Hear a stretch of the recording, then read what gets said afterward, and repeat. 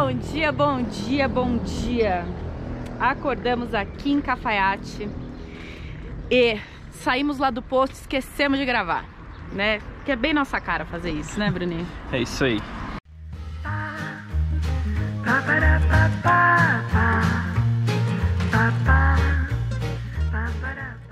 E o que, que a gente veio fazer? A gente mostra o posto depois logo aqui na frente. A gente vai passar na frente. É verdade. O itinerário de hoje é: a gente procurou um banho e a gente encontrou aqui nesse hostel, hostel camping e tal. Roadrunner é o nome 300 do camping pesos o, o banho, né? Por pessoa. 300 pesos por pessoa. Isso dá Difícil. Dá uns 6 reais, vai, um pouco menos de 6 reais. E aí a gente vai lá tomar um banho, se trocar e depois a gente começa a passear pela cidade. A cidade não tem assim muitas coisas para fazer aqui dentro, são mais bodegas, barzinho, essas coisas. É, a gente viu que pelo caminho, assim, aqui ao- aos arredores aqui de Cafaiate, é que tem bastante coisa legal para fazer. Mas hoje a gente vai aproveitar a cidade, né, Bruno? É O que mais aí. que a gente vai fazer hoje? Ah, não sei o que, que você acha. Não sei também. Aí a gente achou um, um posto, então, que tem uma área de motorhome é, atrás. A gente vai lá dar uma olhada, ver se a gente consegue cozinhar por lá. E depois a gente vai bater perna na cidade mesmo, né? Ah, isso, acho que sim, né? Vamos passear na cidade. Hoje a gente quer tomar uma cervejinha à noite. pra fazer a nossa dieta valer, né, Bruno? Não, mas pô, Brindar a dieta. também, né? Não dá pra ficar só assim, né? Sem comer, não dá. Pô, tem que equilibrar um pouco de comida saudável, comendo pouco e um pouco de cerveja. Aí o Bruno tá esquentando uma aguinha que a gente coloca na ração do é. Eu Plínio. coloquei isso aqui, ele nem. Tá nem aí, né? nem não aí. gostou da Deu ração. bola, não, eu não tava afim de comer. Então bora. Bora pra começar o dia, que a gente tá muito falador. Você falou os passeios aqui. Não é pra cá, cara, que a gente não foi. Falei, tá nos arredores. Isso, é, na verdade é tudo no caminho pra Salta, que é a próxima cidade, né? Que são um monte de formação rochosa bacana e tal. Então acho que a gente vai fazer mais amanhã, né? É. O plano é acordar cedo amanhã, Hoje é mais dar uma voltinha no centrinho que é gostoso, mostrar um pouquinho da cidade, tomar uma cervejinha. tomar uma cervejinha à noite e depois seguir então pra Salta. Amanhã né? cedinho, né? É. Acho que sim, é isso aí. Então bora tomar um banho pra passear? Bora, deixa eu pegar minhas roupas aqui e vambora.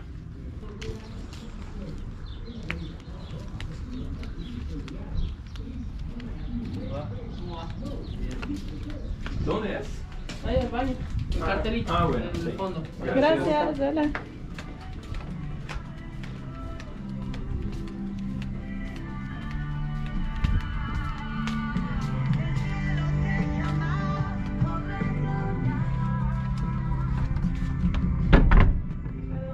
Perdão. Ah, tem ali, ó. É, tem. Ele tinha falado que tinha atrás também. Bora.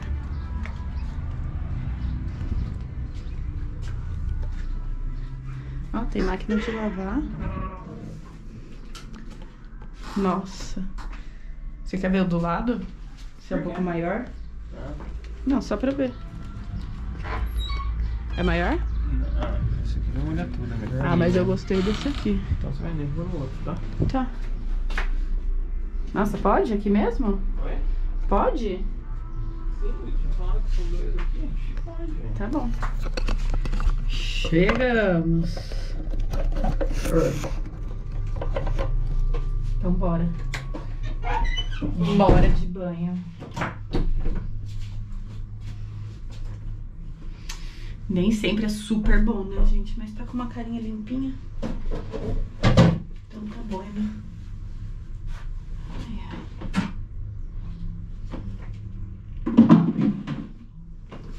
Vamos lá. Nossa, que cabelo, hein? Bora de banho. Banho acabado, muito bom. Nossa, surpreendente, bem gostoso. Olha essa árvore aqui, gente, do lado do banheiro, coisa mais linda. Terminou? Sim. Bom? Bom, nossa, adorei, muito bom. Vê se eu não esqueci A nada. ducha não é super forte, mas é muito quente, né? A minha era bem gostoso. fortinha banheiro até. bem limpinho também. Ah, é, a bem não. limpinho. Nossa, muito bom. Ó, não esqueci nada. Agora podemos. Podemos ir no mercado, comprar Sim, tudo. Podemos. Banho, tomar. Nossa, outra vida, né? Outra vida. Podemos ficar alguns dias agora sem tomar banho. Não, novo. gente, ó, vou contar um segredo pra O problema vocês. é que agora tá ficando calor, né? Aí É. tem que tomar banho com mais frequência. Com mais frequência. Antes. Pera, deixa eu passar essa música.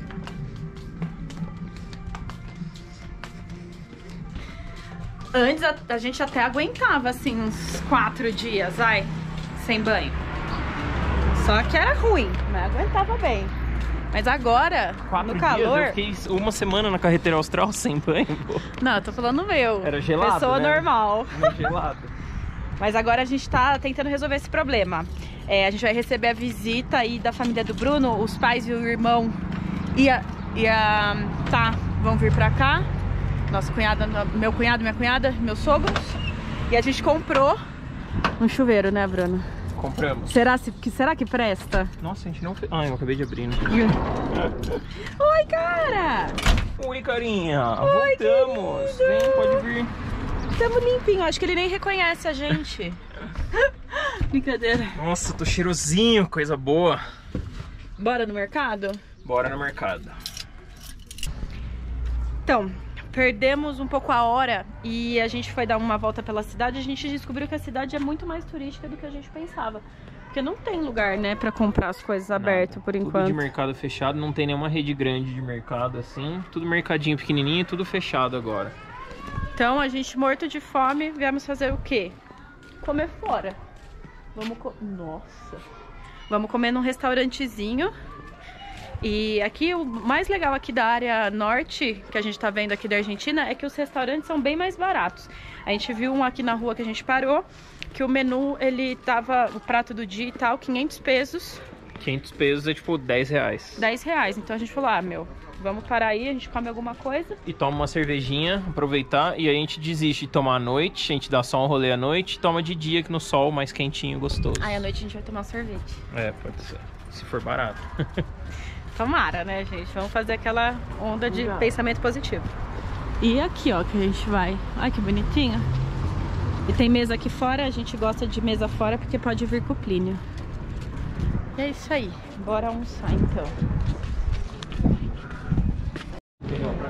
Bom, no fim, tinha uma placa, mas no cardápio não tinha assim muitas coisas e as coisas estavam um pouco mais caras do que os 500 pesos. É, aí era, o prato Então. era 2 mil pesos, pra gente já é meio carinho. meio carinho. Então, na verdade, vamos dar uma olhada, porque assim, a gente também não tem muita opção, porque ah, fazer o almoço vai sair muito tarde, a gente não comeu nada até agora.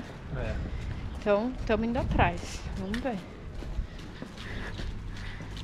Procurar um que seja mais barato. E vamos seguir em busca então de algum lugar para comer. Enquanto isso, eu vou gravando um pouco para vocês a cidade, já que a gente tá dando uma volta a pé, né?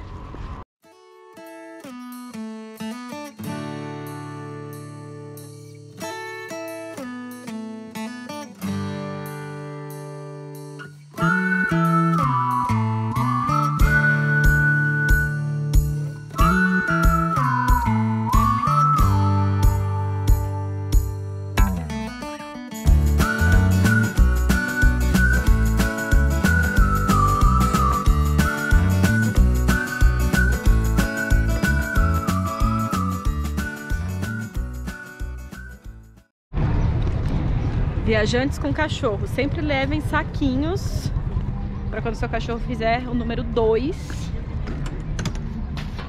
você contribuir com a limpeza da cidade. sempre levo. E super legal, eu comprei esse ossinho que eu levo na bolsa e tem vários saquinhos, é um rolinho de saquinho próprio para cocô. Muito bom. Lina tá se divertindo aqui na pracinha.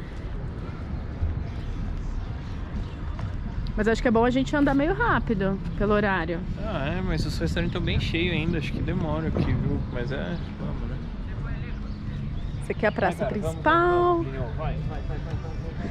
Vamos. Bem gostosinha. Vamos lá.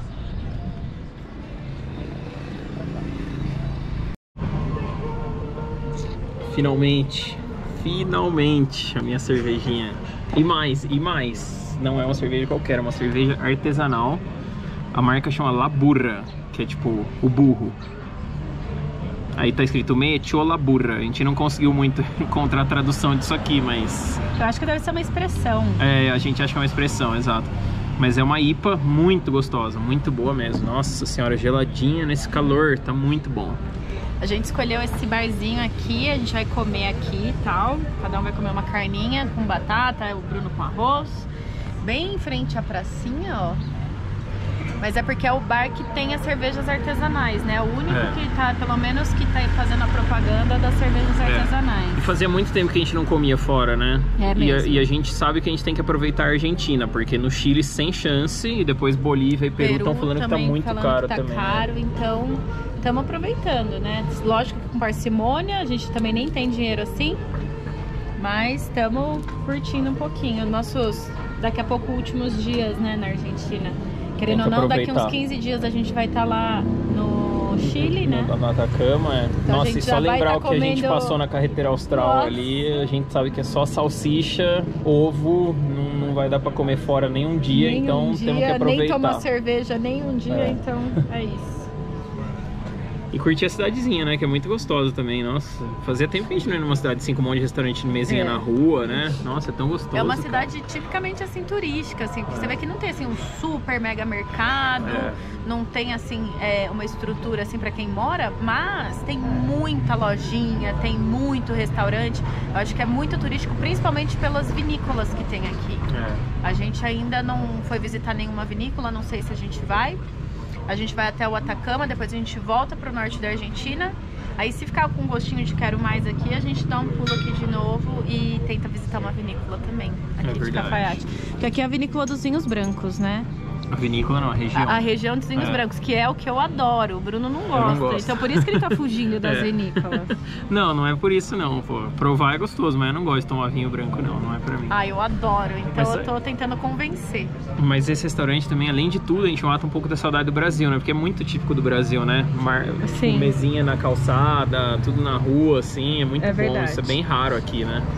É engraçado porque essa região aqui, a cidadezinha que a gente estava antes, Londres, e aqui lembra muito assim Brasil, até essas partes mais turísticas do Brasil, né? Não sei Uhum. porquê, não sei É. se é porque também tá fazendo um tempo gostoso, tá mais quente. Mas também. lembra o estilo de construção, lembra Mas muito, lembra né? bastante. é. Então a gente tá um pouco nostálgico assim com É. o Brasil e estamos aproveitando um pouquinho aqui. E esse aqui, ó, o que, que ele tá fazendo? Cheirando a cachorrada da rua. Eles ficam todos por aqui e ele tá eufórico, não para. A gente tá meio assim de largar ele com os cachorros aí, porque já teve uns cachorros que brigaram agora há pouco, saíram chorando aí, né? Então, É. estamos com medo de largar ele aí. E ele fica, ó. Tá só, só esperando o cachorro vir aqui pra ele ferver junto. Safadinho. Chegou o rango, coisa boa demais. Olha o tamanho do prato. Esse é o da Queca. É Olha, um. gente, minha que mão. que é o seu? O meu é um Assado de tira. e o do Bruno é um vazio. O da Queca é um assado de tira com batatas fritas, olha o tamanho. E o meu é um vazio, que é fraldinha com arroz. Olha o tamanho disso. O seu, quanto? 30 reais. E o meu, 32, num prato desse tamanho. Cara, veja isso. No Brasil, você acha que dá pra conseguir um negócio desse? Acho que nenhum prato feito no Brasil não tá isso É. agora. Bora Cara, coisa boa, bora curtir.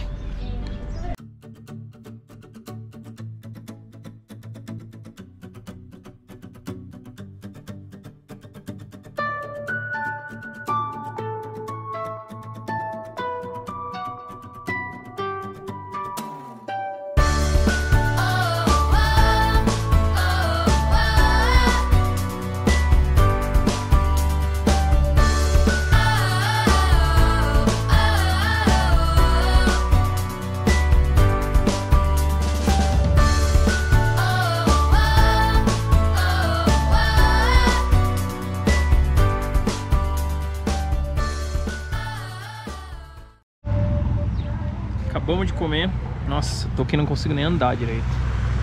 E Era que muito tem, grande a gente. comida, meu Deus do céu. Agora é minha diversão. Foi a diversão do Bruno comer carne e tomar cerveja? Não, eu gosto de olhar a feirinha, só olhar sem comprar, sem gastar. Não, então não é legal, tá?